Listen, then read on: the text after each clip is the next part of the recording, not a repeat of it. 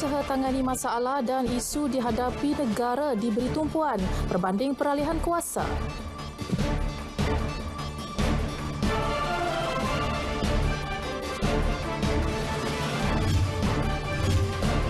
Realisasi pembangunan 100,000 unit rumah mampu biaya Johor kena pasti 15 tapak untuk dibangunkan.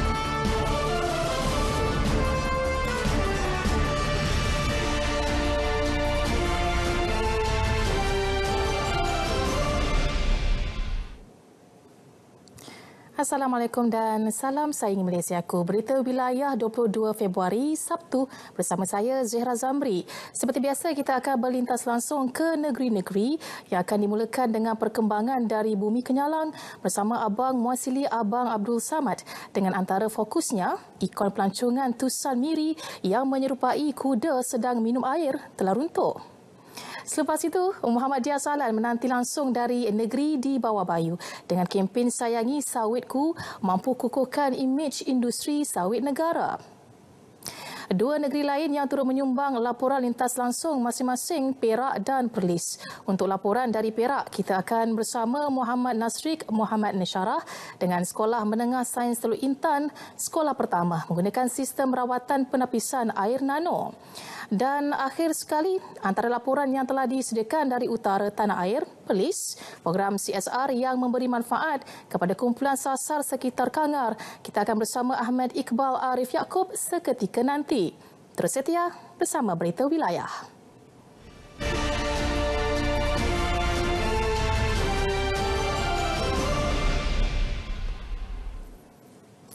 Hujan lebat pagi tadi di Kuching Sarawak mengakibatkan beberapa lokasi dinaiki air. Menerusi kenyataan Agensi Pertahanan Awam memaklumkan tiga rumah di Kampung Selang Ulu dekat Lundu dinaiki air sedalam 1.5 meter.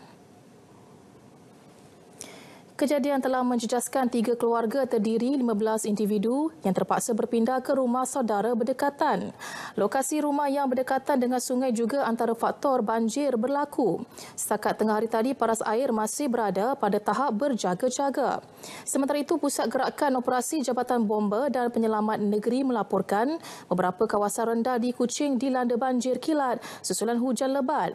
Antaranya Jalan Tun Abang Haji Openg berdekatan Sekolah Menengah Kebangsaan St. St. Joseph dan persimpangan lampu isyarat RTM serta kawasan rumah kedai di Matang Jaya, Padawan.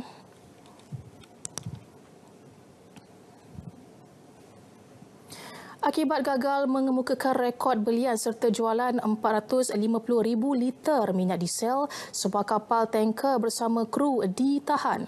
Keseluruhan rampasan bahan api itu termasuk kapal dianggarkan mencecah lebih 2 juta ringgit. Si kenyataan Komander PPM Wilayah 4 Sabah, ACP Muhammad Pajuri Ali memberitahu kejayaan pasukan polis marin PPM Labuan itu menerusi Ops Gelora Khas Interagensi. Operasi digerakkan bersama Kementerian Perdagangan Dalam Negeri dan Hal Ehwal Pengguna KPDNHEP Labuan di Laut Pelabuhan Labuan berjaya menahan kapal berkenaan kira-kira pukul 5 petang semalam. Ketika pemeriksaan terdapat tujuh kru termasuk kapten kapal berusia dalam lingkungan 26 hingga 43 tahun berada dalam kapal berkenaan. Lesen kapal dan lesen perkapalan dalam negeri turut disita. Kes disiasat mengikut Seksyen 21 Akta Kawalan Bekalan 1961 dan Peraturan 13 Kurungan 1 Peraturan-Peraturan Kawalan Bekalan 1974. Tuduhan kes rasuah didakwa babitkan Datin Sri Rosma Mansur berkaitan projek solar hybrid. Kita ikuti rangkuman laporan minggu kedua perbicaraan tersebut yang disediakan meja Mahkamah RTM. Saksi ke-8 Raza Uthman yang juga rakan kepada pengarah urusan Jepak Holdings Saidi Abang Samsudin mendedahkan dia dan Saidi membawa dua beg berisi wang tunai 5 juta ringgit ke kediaman di Pavilion Ibu Negara. Dia bagaimanapun tidak ingat tarikh sebenar kejadian itu berlaku. Razak menjelaskan, sebelum itu dia menemani Saidi ke cawangan Maybank di Jalan Medan Tuanku untuk mengeluarkan wang 5 juta ringgit sebelum menuju ke pavilion. Wang tunai itu dibahagikan kepada dua beg bagasi, masing-masing berjumlah 2.5 juta ringgit setiap satu. Kira-kira sebulan selepas itu, Saidi memberitahu Razak wang tersebut diberikan kepada RM namun tidak menjelaskan siapa individu berkenaan. Sementara itu, pada hari ketujuh perbicaraan, mahkamah dimaklumkan berlaku pertelingkahan antara Saidi dan rakan niaganya, Ryan Razwil Abdullah. Perkara itu didedahkan saksi keenam, iaitu bekas Ketua Setiausaha Kementerian Pelajaran Tan Sri Madinah Muhammad. Menurut Tan Sri Madinah, Ryan menuduh Saidi membuat kesilapan dalam projek solar hybrid tersebut. Antaranya ialah mengubah syarat kontrak, membuat tututan palsu dan menipu beberapa individu dengan menggunakan projek itu sebagai alasan bagi mendapatkan wang. Kenyataan Ryan kepada Tan Sri Madinah itu bertujuan supaya Tan Sri Madinah dapat mengatur pertemuan Ryan dengan Datuk Sri Najib Tun Razak dengan niat mengambil alih projek itu daripada Saidi dan Jepak Holdings. Ryan juga memberitahu akan mendedahkan penglibatan Datuk Seri Najib dan Datuk Seri Rosmah dalam projek solar terbabit jika permintaannya tidak dipenuhi. Beberapa salinan skrin message menunjukkan penglibatan pembantu Datuk Seri Rosmah iaitu Datuk Rizal Mansor dalam cadangan projek itu juga dihantar oleh Ryan kepada Tan Sri Madinah. Pada hari ke-9 perbicaraan, pasukan pembelaan ditegur Hakim Muhammad Zaini Mazlan kerana mengemukakan soalan bersifat peribadi dan boleh memalukan saksi. Ini berikutan Tan Sri Madinah disoal mengenai isu keakraban dan perbualannya bersama Datin Sri Rosmah semasa satu lawatan rasmi ke Los Angeles, Amerika Syarikat. Hakim Muhammad Zaini kemudiannya mencelah dan bertanya sama ada soalan dikemukakan kepada saksi sebagai relevan.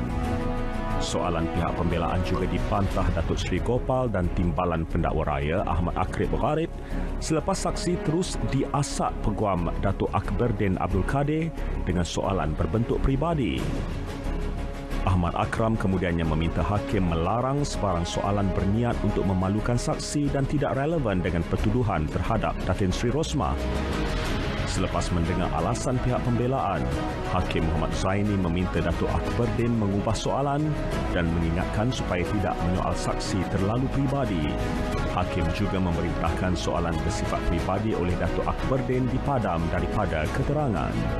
Perbicaraan bersambung minggu depan.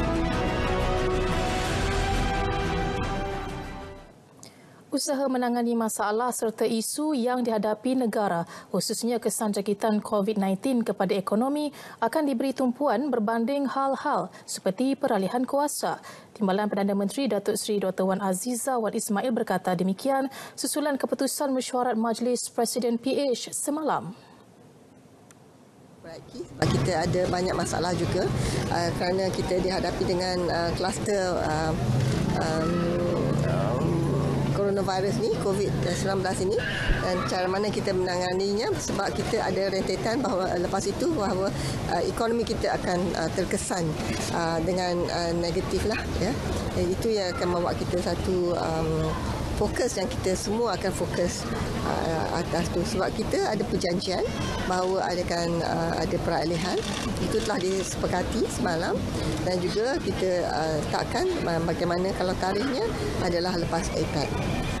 Datuk Seri Dr. Wan Azizah menjelaskan perkara itu setelah melepaskan peserta kayuhan Kasih Mesra Fun Ride Anjuran Kelab Basikal Komuniti Ampang MCC dengan kerjasama Pusat Khidmat Rakyat Parlimen Pandan di Ampang Jaya, Selangor. Seramai 500 peserta menyertai program Gaya Hidup Sihat itu. Sementara itu, bagi pemimpin PH, mesyuarat Majlis Presiden PH itu juga turut membuktikan kepimpinan Tun Dr. Mahathir masih kuat dan diperlukan dalam memulihkan negara. Sekaligus isyarat jelas yang kerajaan PH merupakan kerajaan bertanggungjawab yang sentiasa mendahulukan kepentingan rakyat selain mengutamakan kestabilan negara. Uh, pasal seperti mana yang kita tahu ada banyak usaha-usaha untuk nak uh, rosakkan dan sebagainya. Uh, so kita beritahu pada uh, negara dan bagi dunia uh, bahawa kerajaan PH itu mantap uh, di bawah kepimpinan Tun Mahathir. Jadi, sebarang tarikh tu Uh, tu terpulang pada uh, Tun untuk nak uh, tentukanlah so dalam uh, kita punya majlis pun kita setuju uh, kita takkan buat uh, apa-apa uh, tuntutan dan tekanan dan sebagainya. Uh, yang penting uh, kerajaan Pakatan Harapan itu uh, terus uh, memerintah dan mentadbir negara dengan baik dan mendatangkan manfaat kepada rakyat. Ini perjuangan kita bukan perjuangan untuk mana-mana individu, ianya adalah untuk uh, mewujudkan sebuah kerajaan yang uh, bersih dan uh, bertanggungjawab terhadap terhadap rakyat. Semua pihak telah menyampaikan pandangan.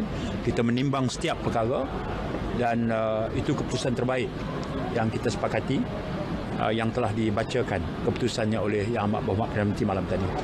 Yang paling penting adalah uh, PH itu intact, functioning, kerajaan juga terus berfungsi. Kementerian Perdagangan Dalam Negeri dan Hak Ehwal Pengguna KPDN HEP telah menyampaikan pandangan serta cadangan pemain industri bagi merangka pakej rangsangan ekonomi kepada Perdana Menteri Tun Dr. Mahathir Mohamad dan Menteri Kewangan Lim Guan Eng. Menteri Bertanggungjawab Datuk Seri Saifuddin Nasution berkata pandangan dan cadangan dikemukakan kepada kerajaan selepas mengambil kira hasil perbincangan dalam sesi dialog antara KPDN HEP dengan pemain industri mengenai impak COVID-19 kepada industri masing-masing. Saya telah menyampaikan pada Yang Amat Berhormat Perdana Menteri pada hari Rabu lepas, sejurus selepas uh, mesyuarat kabinet dan uh, saya juga telah menyerahkan pada Menteri Kewangan yang sedang uh, menyelaras uh, persiapan pakej rancangan bersama Yang Amat Berhormat Perdana Menteri dalam laporan itu terkandung beberapa syur yang merupakan uh, cadangan dan harapan daripada industri uh, perdagangan dalam negeri ini. Bagaimanapun beliau tidak mengulas intipati kandungan tersebut secara terperinci. Menerusi sesi dialog itu juga, kerajaan dapat membantu pemain industri dalam mengurangkan masalah mereka untuk menghadapi cabaran wabak berkenaan. Datuk Seri Saifuddin berkata demikian selepas melancarkan Pasar Raya Desa Segar di Bangi, Selangor.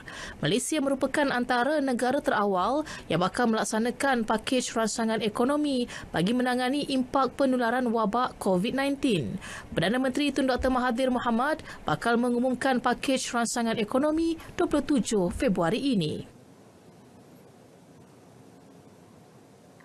Kumpulan Wang Simpanan Pekerja KWSP mencatatkan prestasi kukuh bagi 2019 yang disumbangkan operasi dan kewangan seterusnya membolehkannya mengisytiharkan dividen sebanyak 5.45% dengan jumlah agihan 41.68 bilion ringgit untuk simpanan konvensional.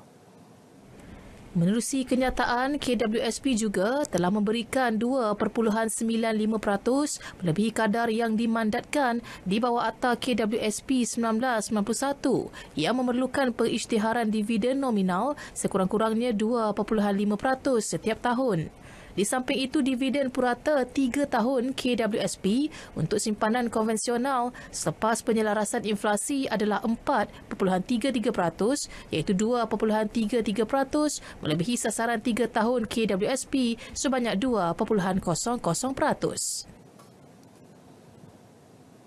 Selaras sasaran Johor untuk membangunkan 100,000 unit rumah mampu biaya RMB menjelang 2023, 15 tapak berkeluasan 10 hingga 70 ekar yang dikenal-pasti bakal dibangunkan. Kesemua tapak baru itu menurut pengerusi Jawatankuasa Perumahan, Komunikasi dan Multimedia Negeri Zulkifli Ahmad melibatkan semua daerah dan insyaAllah kita akan memberikan uh, status fast track uh, kepada pembangunan ini uh, kerana ia merupakan perkara yang perlu kita segerakan. Kategori rumah pula akan dibuka berdasarkan permintaan di tapak baharu sama ada untuk rumah kos rendah atau tinggi. Beliau terdahulu merasmikan majlis pengundian terbuka RMB di Johor Bahru, Johor. Sementara itu, operator makmal Muhammad Nur Faidi Harun, 32 tahun menghargai majlis yang diadakan ini selepas diumumkan sebagai salah seorang penerima. Mesti agak gembira kan sebab kota cuma 40 lebih je. Orang total uh, 1000 1002 kan. Ha, jadi saya dapat jadi orang keenam. Ha, jadi gembira.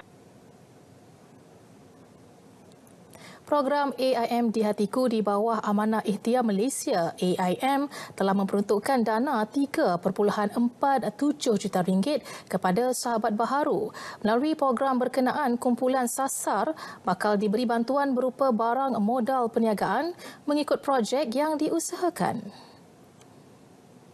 Komunikasi Korporat dan Kesejahteraan AIM, Muhammad Zulkahiza Muhammad Zuldin maklumkan 2,800 keluarga miskin Tegar berpendapatan RM600 ke bawah daripada 56,000 sahabat baharu yang mendaftar bakal menerima manfaat di bawah program AIM di Hatiku dana-dana ni di bawah satu program yang kita namakan AIM di Hatiku. So, dana-dana ni akan digunakan untuk membantu sahabat-sahabat ni bukan setakat bagi pinjaman tetapi kita akan bagi juga bantuan dalam bentuk uh, barang untuk dia memulakan perniagaan. Setakat ini, AIM telah berjaya mencatat kejayaan cemerlang dengan pertambahan jumlah keahlian lebih 10,000 individu selain pertambahan keuntungan 92 juta ringgit serta pembayaran balik sahabat sebanyak 99.06%. Sementara itu, Menteri Besar Perak Datuk Seri Ahmad Faizal Azumu berkata, inisiatif AIM ini membuka peluang kepada sahabat AIM untuk mempromosikan produk serta perkhidmatan masing-masing dan ini memudahkan orang ramai untuk uh, membantu uh, golongan daripada uh, usahawan AIM ini untuk uh, membeli dan menyokong barangan uh, hasil daripada uh, produk usahawan ini. Beliau menyuarakan pandangan itu selepas menyempurnakan program Fiesta Usahawan AIM 2020 Perak di Pusat Transformasi Luar Bandar, Kopeng. Peruntukan 4 juta ringgit Yayasan Pembangunan Ekonomi Islam Malaysia YAPIM dijangka dapat diselesaikan bulan depan sebelum program Bank Makanan 1.0 seterusnya dimulakan. Sumbangan yang bermula September tahun lepas itu telah memberi manfaat kepada lebih 50,000 penerima terdiri daripada golongan isi rumah B40 dan pelajar di institusi pengajian tinggi IPT. Pengarah Kanan Pengurusan Dana Infak dan Pembangunan Sosioekonomi YAPIM, Muhammad Zamri Zakaria berkata, bagi sumbangan fasa 1 hampir menyelesaikan agihan kepada penerima di 152 daerah dan 78 IPT. Kira-kira 3,000 penerima lagi bakal menikmati sumbangan berkenaan. Dah kita keluarkan sebanyak 4 juta ringgit dan kita ada sedikit lagi tempoh untuk nak menghabiskan yang itu. Jadi kita harapkan dengan penerima manfaat ini. Cuma saya nak sebutkan di sini, food bank ini berjalan sebab adanya sumbangan daripada orang ramai. Jadi kita ada duit sumbangan masuk dan kita agihkan. Jadi saya ucapkan terima kasih kepada para penyumbang macam saya sebutkan tadi, pada penyumbang skim potongan gaji itu yang memberi kepercayaan kepada YAPIM untuk kita agihkan. Sementara itu, bagi program Bank Makanan Fasa Baharu, pihaknya telah mendapat peruntukan daripada sumbangan orang ramai dan mensasarkan jumlah penerima yang sama. Yapim kini bekerjasama dengan pihak sekolah, Pejabat Pendidikan Daerah PPD dan Pusat Khidmat Masyarakat agar agihan itu diberikan kepada mereka yang benar-benar layak. Jelasnya selepas karnival Kuantan Rahmah dalam Parlimen Kuantan di Tanjung Api Pahang yang dirasmikan pegawai tugas-tugas khas Timbalan Menteri di Jabatan Perdana Menteri Agama Fakhrul Anwar Zulkawi. Pada majlis ini seramai 100 golongan B40 di Kampung Tanjung Api dan Kampung Pantai Selamat menerima sumbangan bank makanan Yapim.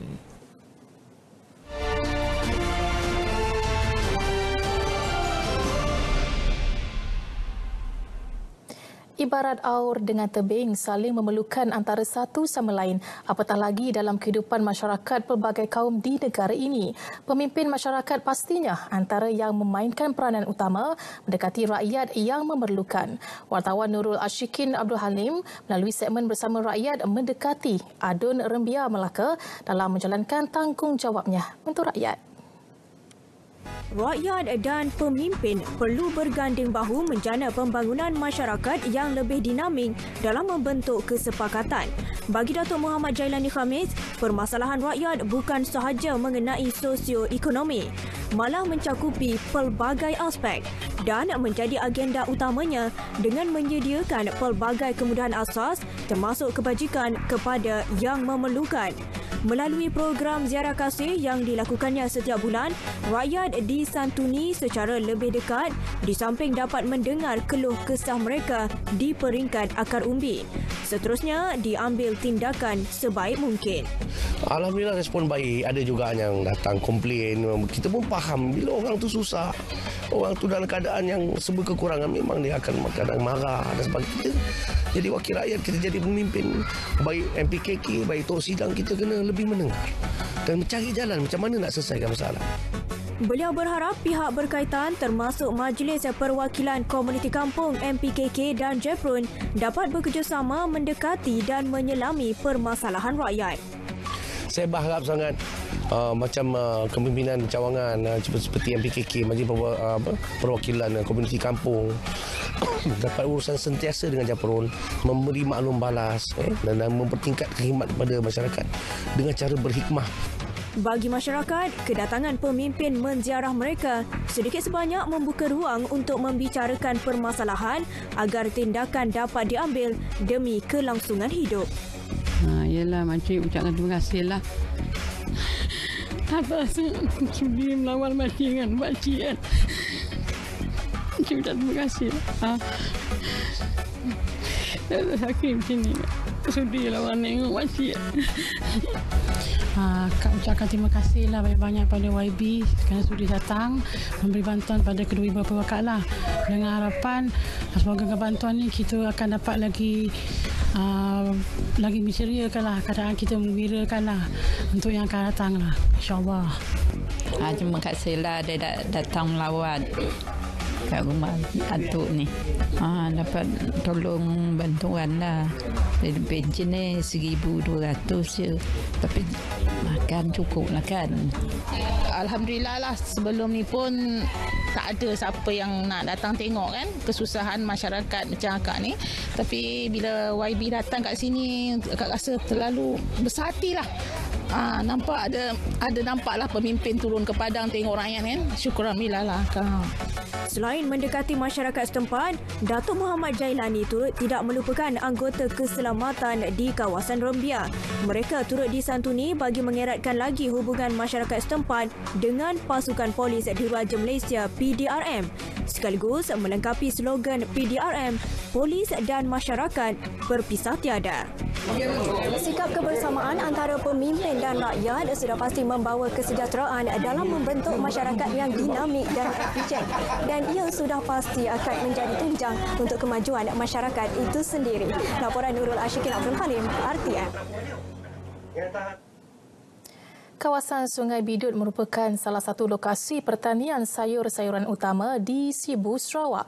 Namun sejak bertahun lamanya, pekebun kecil di kawasan berkenaan dihantui dengan masalah banjir kilat yang pernah memusnahkan hasil pertanian mereka. Kini isu banjir kilat itu akhirnya berjaya diselesaikan. Wartawan RTM Sibu Al-Hadi Syamsawi mempunyai laporannya.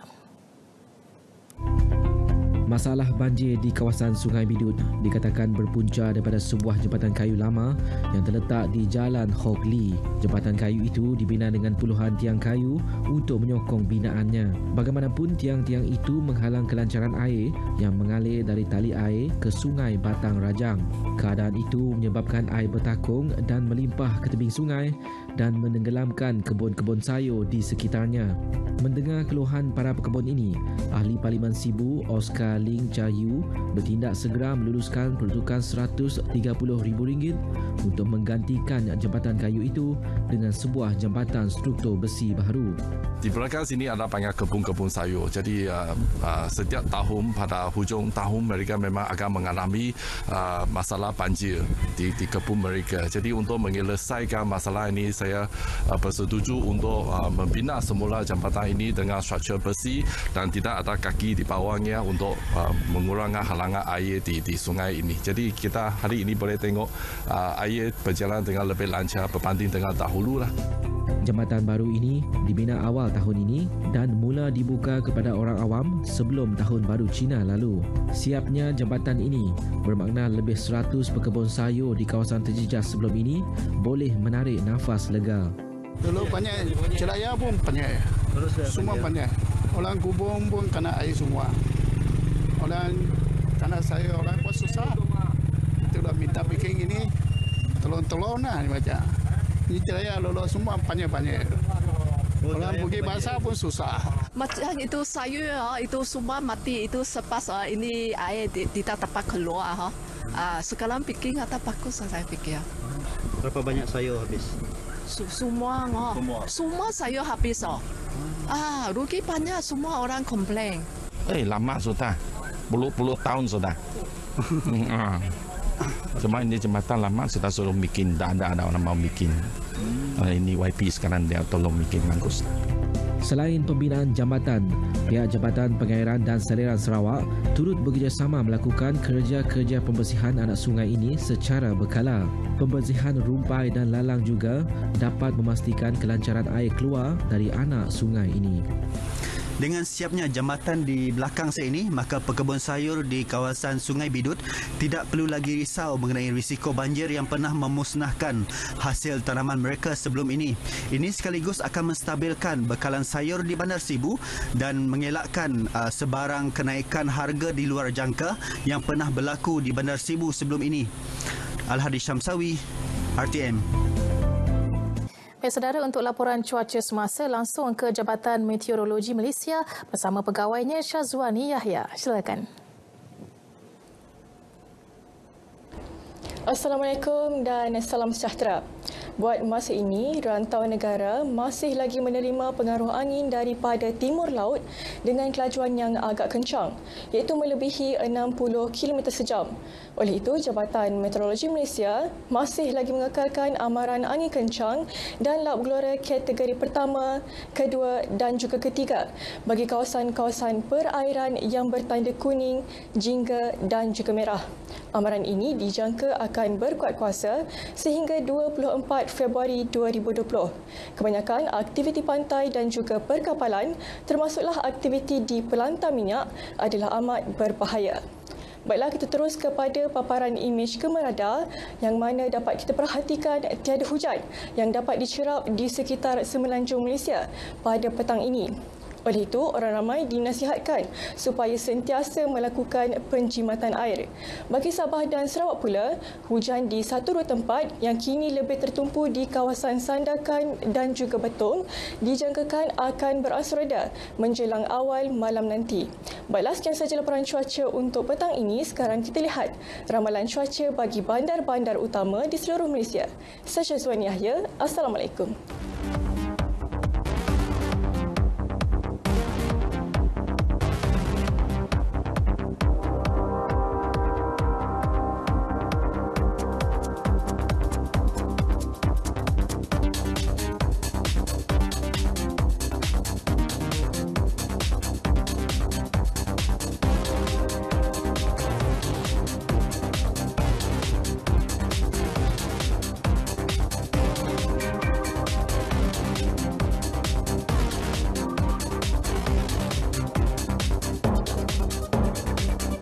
Ikon pelancongan di Tusan Miri yang menyerupai kuda sedang minum air telah runtuh.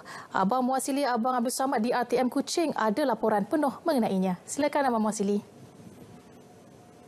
Terima kasih Zahra di Angkasa Puri. Runtuhnya ikon pelancongan Tusan itu merupakan satu kehilangan besar buat industri pelancongan di Miri khasnya. Sebelum itu kita ke berita utama. Penularan wabak COVID-19 bukan hanya menjejaskan keadaan ekonomi negara, malah turut memberi kesan terhadap industri pelancongan. Ahli Parlimen Puncak Borneo Willy Monjin berkata pengusaha inap desa turut mendapat tempias ekoran penularan wabak tersebut. Willy Mongin menambah impak COVID-19 terhadap industri pelancongan dapat dilihat dengan berlakunya kemerosotan jumlah kehadiran pelancong ke negeri ini khasnya. Beliau berucap demikian pada program Visit My Kampung Inap Desa Senah Rayang di Kampung Senah Rayang, Padawan. Dalam ucapannya, beliau menggalakkan setiap individu untuk memainkan peranan dalam mempromosikan pelbagai produk yang terdapat di negeri ini kepada masyarakat luar. Selain itu, beliau turut menyeru pengusaha inap desa supaya tidak hanya bergantung kepada cara konvensional untuk memasarkan produk pelancongan mereka, tetapi perlu menguasai kemahiran dan kecekapan dalam teknologi baru. Pengusaha inap desa juga perlu menjadi lebih kreatif bagi mempromosi kawasan tersebut, memandangkan lokasinya yang mempunyai banyak tempat menarik untuk pelancong luar. Pada masa yang sama, beliau mengumumkan geran sebanyak RM10,000 untuk Inap Desa Senah Rayang. Inap Desa Senah Rayang yang lebih dikenali sebagai Inap Desa Bidayuh Muslim mempunyai 10 buah rumah dan ditubuhkan sejak 10 tahun lepas. Pantai Tusan akan terus diberi perhatian sebagai destinasi tarikan pelancong kemiri Meskipun ikon pelancongan atau batu yang menyerupai kuda sedang minum air itu telah runtuh, Datuk Bandaraya Miri Adam Yee mencadangkan agar sebuah replika lain dibina menggantikan ikon itu. Adam Yi yang dihubungi RTM hari ini berkata usaha menggantikan kehilangan ikon itu adalah demi mengekalkan kehadiran pelancong ke Pantai Tusan dan Miri Amnya. Setakat ini punca kejadian belum diketahui dan masih dalam siasatan. Pantai Tusan terletak kira-kira setengah jam dari Bandaraya Miri tetap menggamit kedatangan pelancong dengan pelbagai bentuk dinding bukit batu hasil geseran ombak. Selain itu terdapat juga tarikan seperti kejadian kejadian air mata biru pada waktu malam yang berlaku antara bulan September hingga Disember setiap tahun. Jabatan Perikanan Laut Sarawak JPLS hari ini telah mengadakan aktiviti gotong royong membersih pantai bersama penduduk kampung Teluk Melano Lunduk menerusi program Selamatkan Laut Kita. Program ini antara lainnya untuk memupuk rasa cinta terhadap alam sekitar dalam kalangan penduduk setempat. Timbalan Pengarah JPLS Haliza Sulaiman berkata, program tersebut turut melibatkan kerjasama daripada agensi-agensi kerajaan lain seperti Lembaga Kemajuan Ikan Malaysia, Jabatan Pertanian Daerah Lundu, Perbadanan Hutan Sarawak dan Jabatan Alam Sekitar. Ia bertujuan memberi pendedahan kepada orang awam terutamanya penduduk kampung Teluk Melano tentang impak negatif pembuangan sampah di kawasan pantai dan juga di laut. Jelasnya, selain mengingatkan orang ramai tentang pentingnya kebersihan pantai dalam menjaga ekosistem laut dan menjadi sumber pendapatan penduduk setempat, satu taklimat tentang spesies hidupan laut terancam seperti penyu, dugong, ikan yu, ikan lumba-lumba dan ikan paus juga diadakan. Menerusi taklimat tersebut, beliau berharap agar orang awam khususnya golongan nelayan tidak akan menangkap spesies-spesies hidupan laut terancam tersebut yang terjaga di bawah peraturan-peraturan perikanan pengawalan spesies ikan yang terancam 1999. Beliau juga menasihatkan agar penduduk kampung Teluk Melano mengadakan aktiviti membersihkan kawasan pantai secara bergotong royong bagi memastikan kebersihan pantai terus terjamin.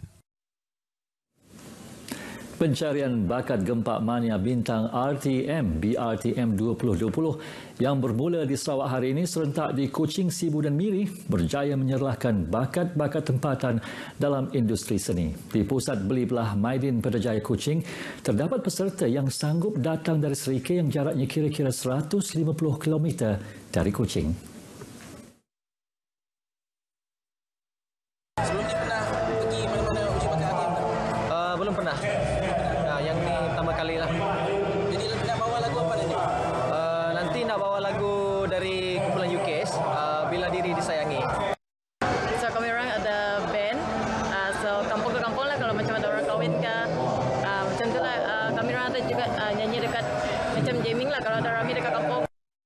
Data Mall Sibu pula, proses pencarian bakat menyaksikan salah seorang peserta dari Matu menganggap uji bakat ini sebagai satu platform untuk dirinya mengetengahkan bakat nyanyian yang lama terpendam. Uh, saya mula bergiat dalam nyanyian bidang nyanyian ini pada umur saya 10 tahun. Ismin 27 tahun dah saya uh, dalam bidang nyanyian ini. Setakat pukul 2 petang tadi di Kuching seramai 28 peserta telah mendaftar dan 11 daripadanya berjaya melepasi saringan peringkat kedua. Manakala di Sibu, dua daripada lima peserta yang hadir berjaya melepasi saringan peringkat kedua dan di Miri, 23 peserta mendaftarkan diri namun 18 yang berjaya mara ke saringan kedua. Pencarian bakat gempa mania BRTM Zon Sarawak diadakan hari ini dan esok. Butiran lanjut mengenai program itu boleh didapati di program portal www.rtm.gov.my atau menerusi Facebook RTM Sarawak. Universiti Malaysia Sarawak UNIMAS terus mempergiat usaha meningkatkan kemasukan pelajar tempatan dalam aliran sains dan pengajaran terbangsa melalui pelbagai program tahunannya. Timbalan Naib Chancellor UNIMAS Profesor Dr. Ahmad Hatta Rasid berkata antara program tersebut ialah projek Jeraya Wara Trans Borneo Pra University yang mula diperkenalkan pada 2017. Dr. Ahmad Hatta Rasid menjelaskan projek Jerayawara Trans Borneo Pra-University adalah usaha memperkenalkan program asasi sains dan pengajian asas antarabangsa IFS di kalangan pelajar-pelajar lepasan sijil pelajaran Malaysia di Sarawak. Menurut beliau, kedua-dua program tersebut amat penting kerana ia memberi manfaat jangka panjang kepada pelajar-pelajar yang bakal ditawarkan di pelbagai fakulti di universiti berkenaan. Jelasnya lagi, ia sejajar dengan usaha Unimas dalam meningkatkan graduan profesion termasuk doktor, jurutera, arkitek serta saintis di kalangan warga tempatan dalam jangka masa lima tahun akan datang. Beliau berkata demikian pada perasmian program Science Exploration Camp 2020 anjuran Pusat Pengajian Pra-University Unimas di Kota Samarahan. Seramai 120 pelajar daripada aliran sains dari 16 buah sekolah sekitar Kota Samarahan dan Kuching terlibat dalam kem dua hari tersebut. Antara lain ia bertujuan memupuk minat peserta mempelajari pelbagai aspek sains dengan lebih menarik melalui aktiviti serta eksperimen yang telah dirancang. Sekian paparan berita dari Sarawak. Kembali bersama Zehra di Angkasa Puri. Silakan Zehra. Ya, terima kasih Abang Muasili. Kempen Sayangi Sawitku yang dilaksana mampu mengukuhkan imej industri sawit negara. Untuk perkembangan lanjut kita ke Sabah bersama rakan penyampai di sana, Muhammad Dia Salan. Silakan Muhammad Dia. Baik, terima kasih Zahra di Angkasa Puri. Assalamualaikum dan salam sejahtera. Kempen Sayangi Sawitku yang dilaksana Kementerian Industri Utama MPI mampu memperkukuh imej industri sawit negara. Ia selari dengan hasrat kerajaan untuk menghasilkan minyak sawit yang mampan dan selamat untuk pemakanan sesuai dengan penjenamaan minyak sawit Malaysia sebagai produk lima bintang dunia. Ketua Menteri Sabah Datuk Seri Panglima Muhammad Syafiee Abdal berkata, pengeluaran minyak sawit yang mampan selari dengan kesemua 17 matlamat pembangunan mampan SDGs seperti ditetapkan Pertubuhan Bangsa-Bangsa Bersatu PBB. Beliau berkata demikian ketika berucap merasmikan pelancaran kempen Sayangi Sawitku peringkat negeri Sabah di Teguan Koko Village. Teks ucapannya dibacakan Timbalan Ketua Menteri merangkap Menteri Perdagangan dan Perindustrian Datuk Seri Panglima Wilfred Madus Tangau. Datuk Muhammad Syafiee yakin pelaksanaan kempen berkenaan berupaya memastikan industri sawit negara lebih berdaya saing sekaligus menangkis tomahan negatif yang dilempar pihak tidak bertanggungjawab kepada industri sawit negara. Tambahnya, kerajaan negeri sentiasa menyokong kempen seumpama kerana industri sawit memainkan peranan penting dalam pembangunan negeri. Sebagai negeri pengeluar sawit kedua terbesar negara, lebih 30,000 penduduk Sabah adalah pekebun kecil sawit, manakala lebih 60,000 lagi terlibat dalam industri sawit. Unit Peneraju Agenda Bumi Putra Terajo Sabah terus komited memperkasa pembangunan ekonomi usahawan Bumi Putra. Kini tumpuan diberikan kepada usaha merangka jenama produk Made in Sabah untuk membantu usahawan Bumi Putra terus tembusi pasaran antarabangsa.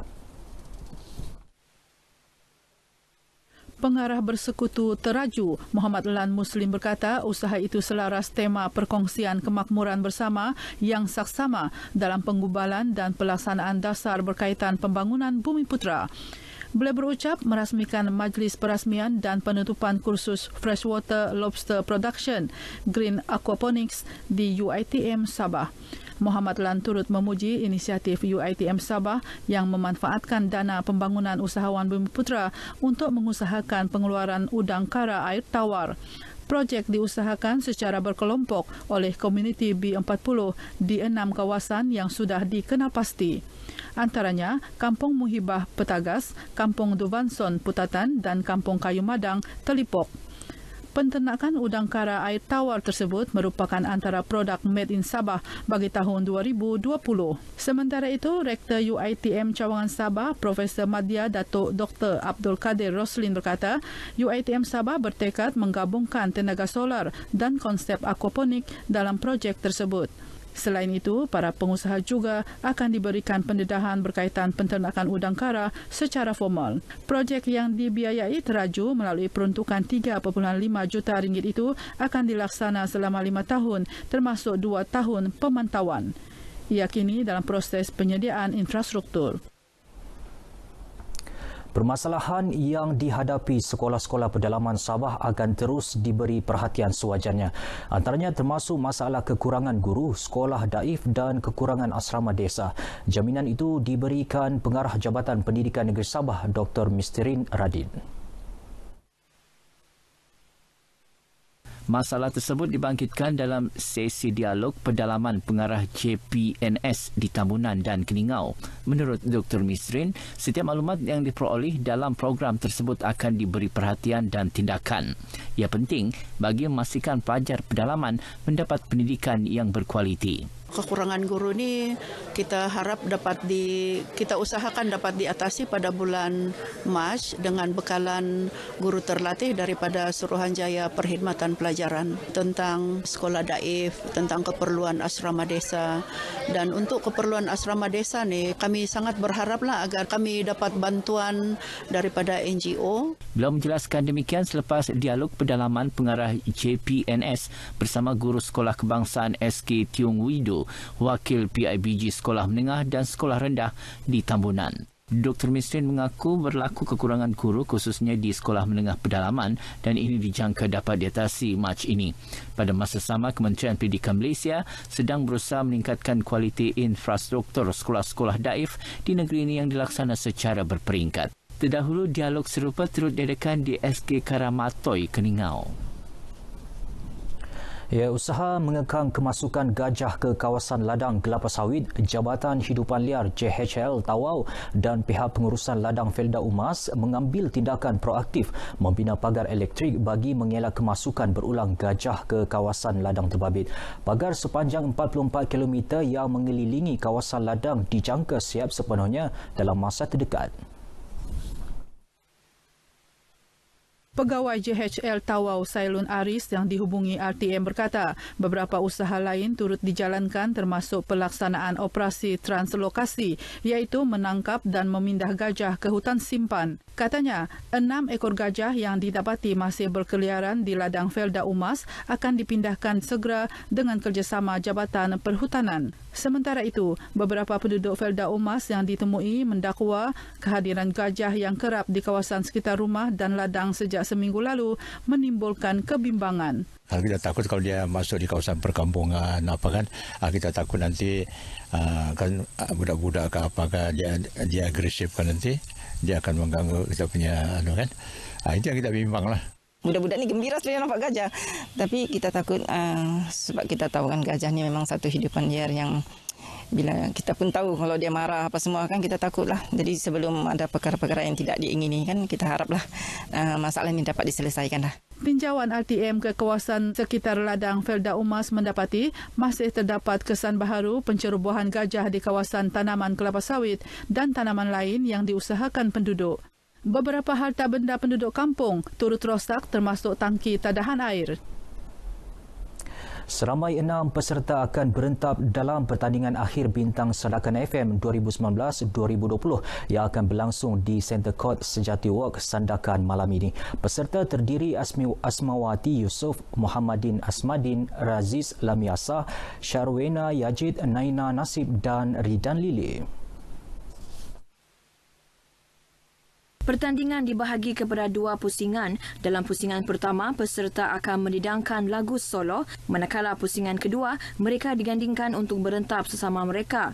Juara bakal menerima wang tunai RM5,000, tempat kedua RM3,000 dan tempat ketiga RM2,000 beserta trofi dan sijil. Pemenang persembahan terbaik, vokal terbaik dan undi popular masing-masing akan membawa pulang wang tunai RM1,000 beserta trofi. Bintang Senakan FM yang dianjurkan sejak 2005 merupakan pertandingan nyanyian mencungkil bakat baharu dalam kalangan belia untuk diketengahkan ke peringkat lebih tinggi. Justru, orang ramai dijemput hadir memberi sokongan kepada para peserta. Baik saudara, sekian dahulu paparan berita dari Sabah petang ini kembali bersama Zehra di Yang Kesapuri. Silakan Zehra. Baik dia, terima kasih. Menerusi projek Telaga Tiup berintegrasi Kendalian Jabatan Mineral dan Geosains Malaysia JMG menyaksikan Sekolah Menengah Sains Teluk Intan semesti. Sekolah pertama menggunakan sistem rawatan penapisan air nano. Laporan itu antara perkembangan semasa dari Perak dan kita terus saja ke Ipoh bersama Muhammad Nasrik Muhammad Nasyara di sana. Nasrik.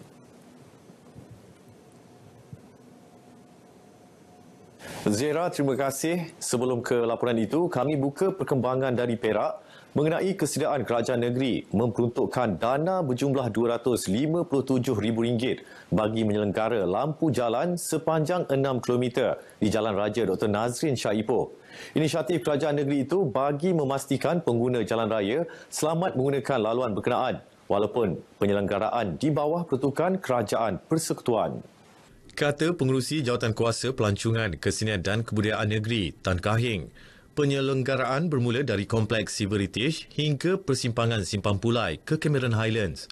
Antaranya menggantikan 13 tiang lampu, 115 lantera lampu, kabel sepanjang 495 meter dan menaik taraf 4 peti pembekal voltan rendah. Uh, sudah sepanjang 2 tahun lampunya uh, adalah rosak. Kebanyakan lampu adalah rosak. Ada kabel yang kena curi, kena rosak. Uh, dan juga ada tiang-tiang lampu yang dilanggar oleh kenderaan berat. Peruntukan sejumlah 257 uh, ribu ringgit untuk menyelenggarakan uh, keadaan tersebut. Perkara mengenainya dinyatakan beliau dalam sidang media di Simpang Pulai. Miss Garden atau Fun Garden bakal menjadi tarikan baru pelancongan di Perak. Dijangka siap sepenuhnya Mei ini dengan mengetengahkan teknologi Korea Selatan. Tarikan baru diperkenalkan di kawasan kapal korek Tanjung Tualang nombor 5 di Batu Gajah. Selain menjadi tarikan pelancongan, Akui Ketua Pegawai Eksekutif Perbadanan Menteri Besar Perak MB Inch Anwar Zainal Abidin dapat merancangkan aktiviti ekonomi setempat uh, ianya datang daripada Korea, teknologi Korea Selatan dan kami telah melihat bagaimana mereka membuat di, di negeri luar tu kami ingin bawa masuk tarikan-tarikan pelancong yang baru. Selain daripada itu kami juga ada cadangan untuk membuat satu restoran um, uh, makanan muslim. Beliau terdahulu hadir pada program simulasi menyelamat di air ke tapak warisan kapal korek Tanjung Tualang nombor 5 di Batu Gajah Perak. Turut hadir Esko Pelancongan, Kesenian dan Kebudayaan Perak, Tan Kahing serta Pengarah Jabatan Bomba dan Penyelamat Perak, Azmi Osman. TT5 merupakan satu-satunya kapal korek berusia 82 tahun dan yang masih wujud di negara ini. Sistem ayak nano yang digunakan di semesti itu melibatkan kos lebih RM300,000 dibangunkan bersama Institut Piawaian dan Penyelidikan Perindustrian Malaysia, SIRIM.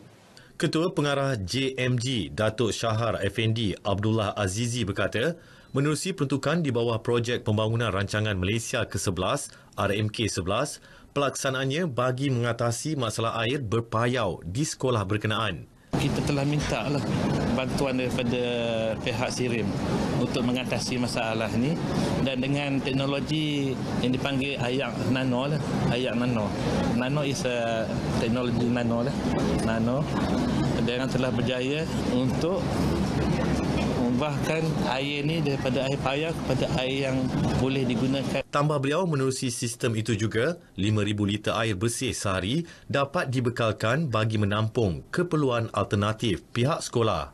Beliau berkata demikian sempena majlis perasmian dan penyerahan telaga tiup berintegrasi sistem ayak nano JMG kepada semesti di Teluk Intan. Zera, setakat ini sahaja perkembangan semasa dari Darul Rizwan kembali semula bersama anda di studio Wisma Berita Angkasa Puri untuk laporan lain Berita Wilayah.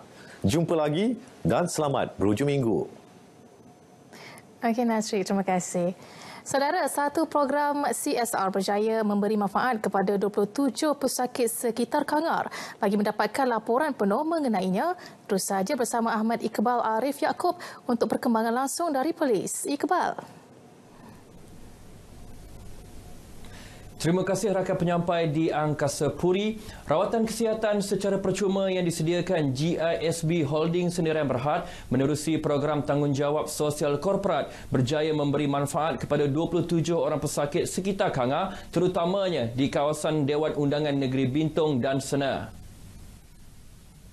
Program bertemakan gembirakan hamba Allah, nescaya Allah akan gembirakan kita itu turut mendapat kerjasama Yayasan Kebajikan dan Perubatan Malaysia serta Pertubuhan Aspirasi Prihatin Malaysia Negeri Perlis.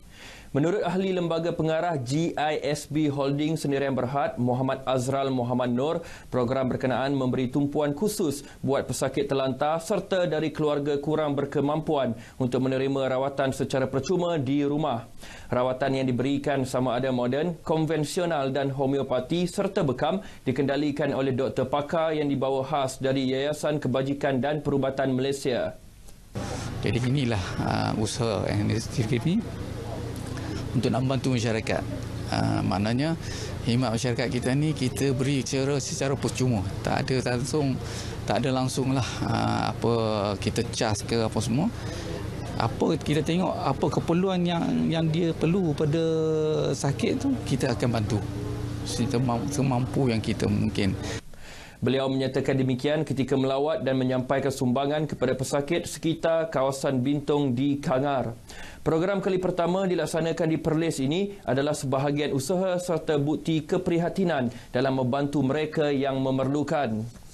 Jadi terima kasihlah pada rakyat uh, negeri Perlis uh, dan juga semua uh, jabatan-jabatan kerajaan agensi-agensi kerajaan yang turut terlibat hadirkan diri memeriahkan lagi program kami uh, bagi uh, uh, rawatan ini. Selain pemeriksaan kesihatan percuma di rumah, program turut melibatkan pemeriksaan dan rawatan kesihatan oleh doktor pakar serta kaunseling perubatan buat penduduk setempat. Jabatan Pengangkutan Jalan JPJ Perlis merekodkan kutipan sebanyak 4.53 juta ringgit bagi jualan nombor pendaftaran tiga huruf iaitu siri RAA hingga RAE yang diperkenalkan sejak Julai tahun lalu.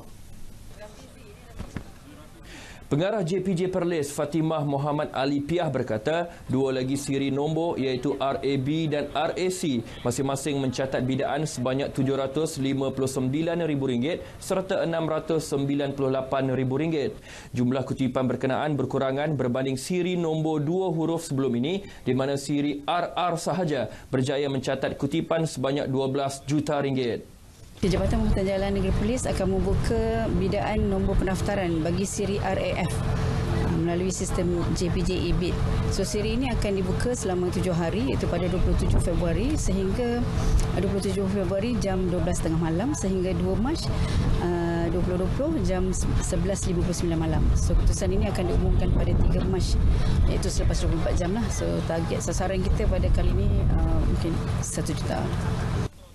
Jelasnya ketika ditemui pada majlis penyerahan kenderaan sita skrap lucut hak kepada Institut Pendidikan Negeri Perlis di Kompleks JPJ Negeri Jejawi. Pada majlis sama, sebanyak tiga buah kenderaan yang tidak boleh berdaftar diserahkan kepada Institut Pendidikan Negeri bagi tujuan pembelajaran pelajar yang mengikuti pengajian automotif. Setakat ini sahaja perkembangan dari utara tanah air Perlis. Kembali semula bersama rakan penyampai di studio Wisma Berita Angkasa Puri untuk laporan lain berita wilayah bersua kembali. Kes ke-22 positif COVID-19 yang merupakan wanita warga Amerika Syarikat berusia 83 tahun telah menunjukkan perkembangan status kesihatan yang sangat baik. Bagaimanapun Ketua Pengarah Kesihatan Datuk Dr. Nur Hisham Abdullah dalam kenyataan berkata wanita itu masih lagi dipantau di hospital kerana mengalami sedikit batuk. Kes ke-22 itu disahkan positif COVID-19 pada 15 Februari lepas dan diberi rawatan antiviral. Setelah lebih 72 jam diberikan rawatan, wanita tersebut telah menunjukkan perubahan kesihatan yang baik. Oleh itu, ujian ulangan pengesahan COVID-19 telah dijalankan sebanyak dua kali dengan jarak masa 24 jam bagi setiap satu ujian yang mana kedua-duanya menunjukkan keputusan negatif. Dapatan terkini kajian berkaitan COVID-19 menunjukkan hampir 80% pesakit COVID-19 COVID-19 merupakan pesakit yang mengalami gejala ringan dan tiada rawatan spesifik atau antiviral diperlukan. Ujian pengesahan COVID-19 ulangan akan dijalankan ke atas semua kes yang disahkan positif setelah pesakit menunjukkan perkembangan yang baik bagi gejala klinikal yang dialaminya.